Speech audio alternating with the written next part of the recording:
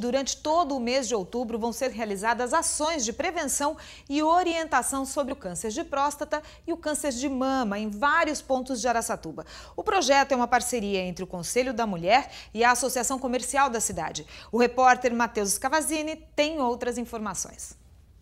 O câncer de mama e o câncer de próstata são algumas das principais causas de morte no Brasil e por isso durante o mês de outubro serão realizadas diversas ações de conscientização sobre a doença. As ações têm apoio da Associação Comercial e Industrial de Araçatuba. Nós estamos aqui com o gerente executivo da Associação Comercial e Industrial de Araçatuba, Osnei Ferracioli. Osnei, o que é o Saúde Truck?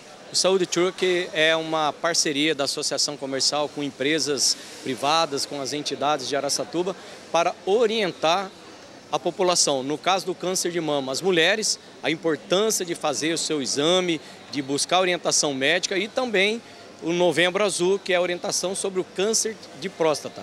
É uma orientação gratuita e vai acontecer no mês de outubro inteirinho. Qual a importância dessas ações realizadas? Olha, é prestação pública, né? É informação. A população ela precisa, a mulher ela tem que ser orientada, porque o câncer de mama hoje mata muita gente precocemente e o câncer de próstata que ainda tem aquele preconceito, né? O homem deixa de fazer o exame por questão de preconceito, não pode.